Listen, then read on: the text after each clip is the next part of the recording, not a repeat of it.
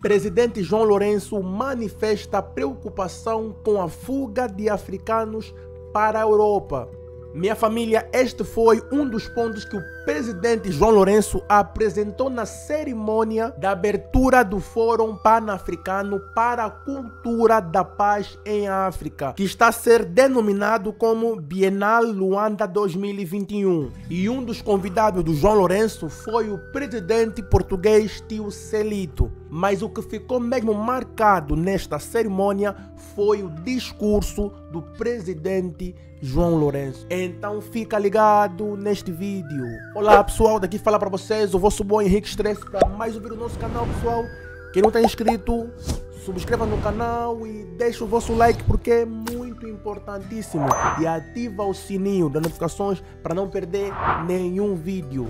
Minha família, recentemente o João Lourenço fez um discurso, aquele seu discurso que sempre tem muitas folhas para ler. E como sempre, parece que o João Lourenço faz sempre os seus discursos olhando numa África, ou bem dizer, numa Angola inexistente. Entende-se que os seus discursos não é voltada para o povo angolano. Segundo o presidente João Lourenço, a imigração para a Europa por causa dos conflitos em África é uma das preocupações do momento. O presidente da República fez saber que é preciso trabalho para que um dia esses compatriotas regressem à pátria a fim de garantirem o progresso e o desenvolvimento dos países. Muitos dos filhos da África têm vindo a abandonar o continente em condições desumanas e com o risco de suas próprias vidas, ao fugir das zonas de conflito ou na procura de emprego e de melhores condições de vida. Independentemente da sua idade, formação acadêmica ou profissional, todos eles são importantes e necessários para o desenvolvimento do nosso continente. Temos sempre a expectativa de que um dia regressem voluntariamente com o desejo de contribuírem no sentido de se alavancar o progresso e o desenvolvimento em todos os setores da vida nacional africana. Este passo marcaria o reencontro com as suas terras, as suas gentes, para que num abraço fraterno à pátria que os viu nascer, enfrentem o desafio de ser protagonistas do progresso e do desenvolvimento dos respectivos países. Minha família, vocês ouviram as declarações do presidente João Lourenço? E ele afirmou que é uma das preocupações do momento que os angolanos, ou bem dizer, os africanos que vivem fora, regressem para o país. Com tantos problemas que nós vivemos em África, ou bem dizer, eu vou me focar mais mais em Angola. Uma das preocupações do presidente é que os angolanos que estão fora regressem para casa. Enfim, vamos continuar família. Realmente ele tocou em alguns pontos que levam os africanos a abandonarem a África. O desemprego, a falta de justiça, as guerras, enfim, e tudo mais aí. Isso aqui até faz sentido. Mas ele esqueceu de alguns pontos, talvez não esqueceu, talvez mesmo não queria colocar, como a perseguição política que os líderes africanos ativam quando uma pessoa não é a favor do seu governo. João Lourenço esqueceu disso aqui. Inclusive, o seu próprio governo do MPLA também costumam a perseguir vários angolanos. E isso aqui levou vários angolanos a abandonarem Angola, família. Mas enfim, vamos continuar. Minha família, eu acredito que todos os angolanos são sim importantes para o desenvolvimento do país, os que estão fora e os que estão no terreno. Mas a grande preocupação é como é que as manas e os manos que vivem na diáspora vão regressar para Angola se o executivo angolano até agora continua a cafricar quem pensa diferente? O executivo angolano persegue adversários políticos com meios públicos e já não esconde mais o rosto. Todo mundo sabe quem persegue a oposição até a exaustão é o MPLA. Como é que vamos confiar num executivo que usa meios públicos para propaganda eleitoral, minha família? Tá aí, minha família, cenas que configuram a violação da lei eleitoral ao vivo, minha família. E o executivo não faz nada. Por quê? Porque estão a trabalhar para o MPLA, estão a trabalhar para os ditadores. Como é que vamos confiar num executivo que sempre, quando vai para a televisão, não fala a verdade, conta histórias, conta fantasias, mente o povo? Nunca vamos conseguir confiar num presidente que somente quando está na televisão mente mente, mente e mente. Este senhor João Lourenço não consegue solucionar os problemas do povo angolano e quer agora começar a dar ideias ou tentar solucionar o problema do continente africano. Minha família, isso é uma brincadeira, isso é uma anedota que o João Lourenço contou para o mundo para verem que não, este senhor aqui, João Lourenço, pensa em África, pensa em boas coisas e quer melhorar a África. É isso que ele quer, minha família. Um governo que não consegue nem sequer resolver a situação atual do lixo no país, que praticamente caracteriza um atentado à saúde pública no país. O executivo não faz nada. O executivo não cria política sustentável. O executivo não cria nem sequer só mesmo uma ideia para conseguir acabar com o lixo no país. O executivo tira a governadora, mete outra, mas mudança, niete. E o senhor João Lourenço tem a coragem de falar às manas e os manos que vivem na diáspora que devem regressar no país para o desenvolvimento do país eh, ao longo prazo, minha família. Isso aqui é uma brincadeira. Se os angolanos que vivem em Angola, os angolanos que vivem na banda, o governo não consegue trabalhar com eles para o desenvolvimento do país. É já os manos que vivem na diáspora é que devem voltar para construir esse país. Se o jovem angolano não pertencer ao partido dos camaradas, não tem oportunidade para conseguir um emprego digno.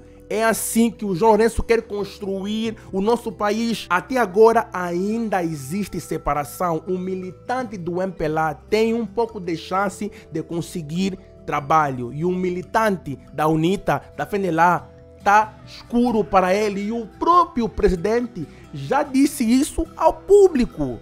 Agora, não se pode dizer que quem é da oposição não tem direito ao emprego. Tem direito ao emprego, pode chegar até um certo nível, pode ser diretor, mas é evidente que não será ministro, não será vice-presidente e muito menos presidente. Os lados são todos iguais.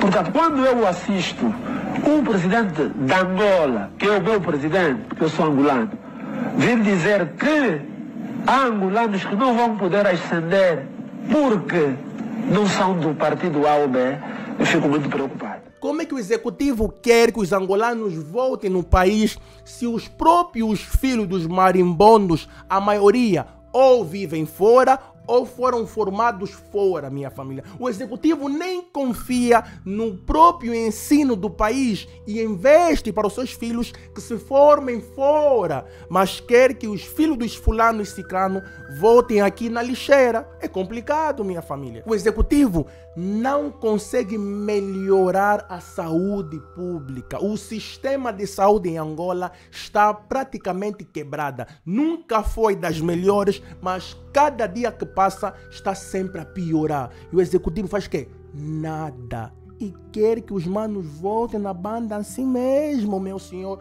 João Lourenço incompetentinho. Vou aqui colocar um vídeo de uma enfermeira angolana que denunciou a falta de equipamento de medicamentos nos hospitais públicos. Quero expressar o meu sentimento, quero expressar o meu descontentamento e com relação ao nosso sistema de saúde cá em Angola, que a gente vê que não melhora, só piora e isso é muito alarmante porque temos todos os dias pessoas a falecerem por casos ou por situações que são tratáveis, que são curáveis quando atendidas na hora e coisas simples.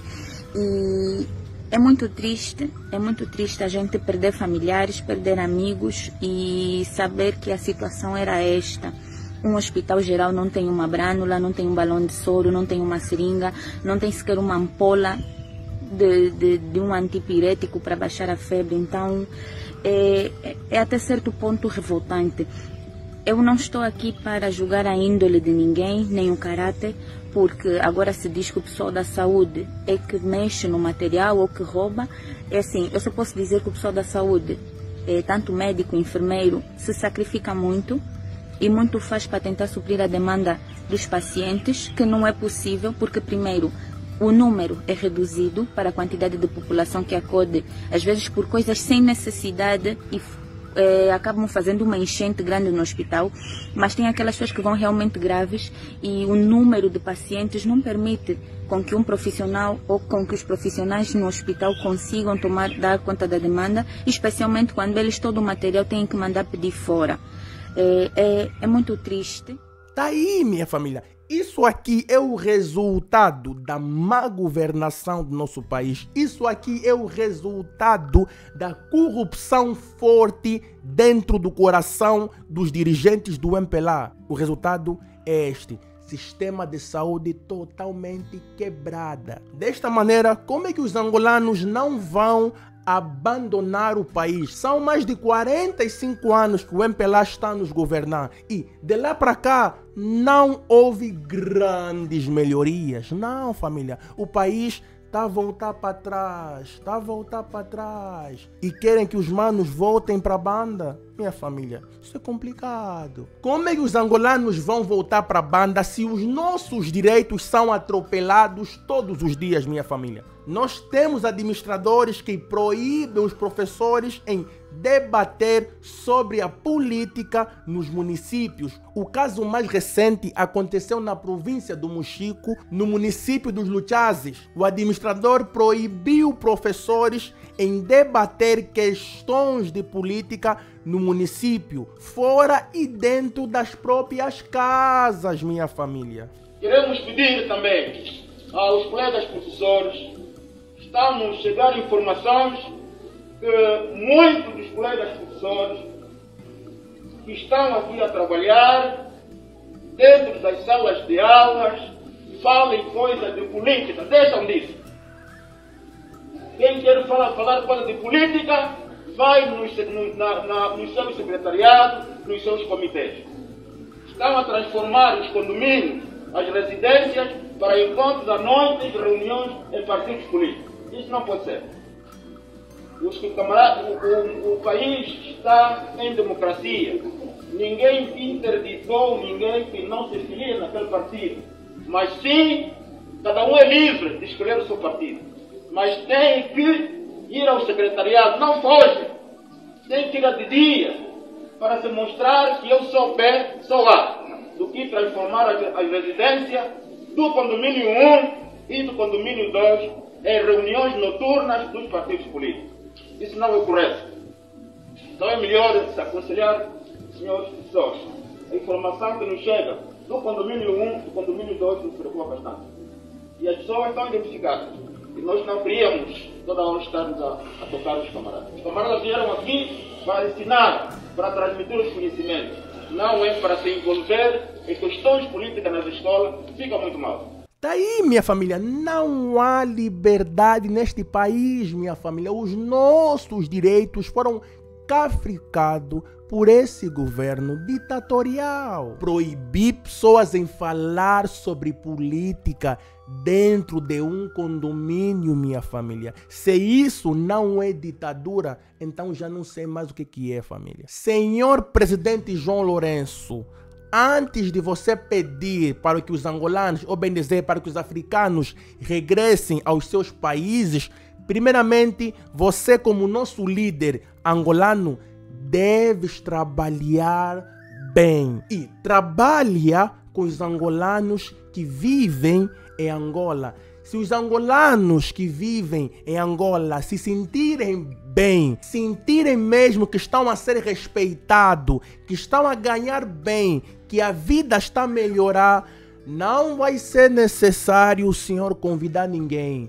todos os angolanos que vivem na diáspora vão começar mesmo a voltar um por um, pois todos os angolanos que saíram de Angola ainda sentem saudade do país e só não voltam porque o Estado angolano, o teu Estado, João Lourenço, cafricou o nosso país. O povo angolano ama Angola, mas não ama os dirigentes corruptos, não ama dirigentes que estão a destruir esse país. Primeiramente, trabalhem bem, desenvolvam um pouco só o país. Aí o resto dos manos vão começar a cair de paraquedas mesmo na banda. Então, minha família, eu também quero ouvir a tua opinião nos comentários deste vídeo aqui.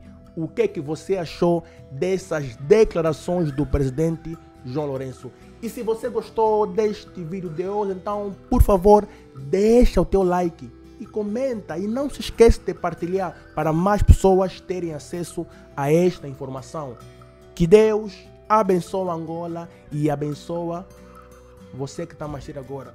Ficamos por aqui, família.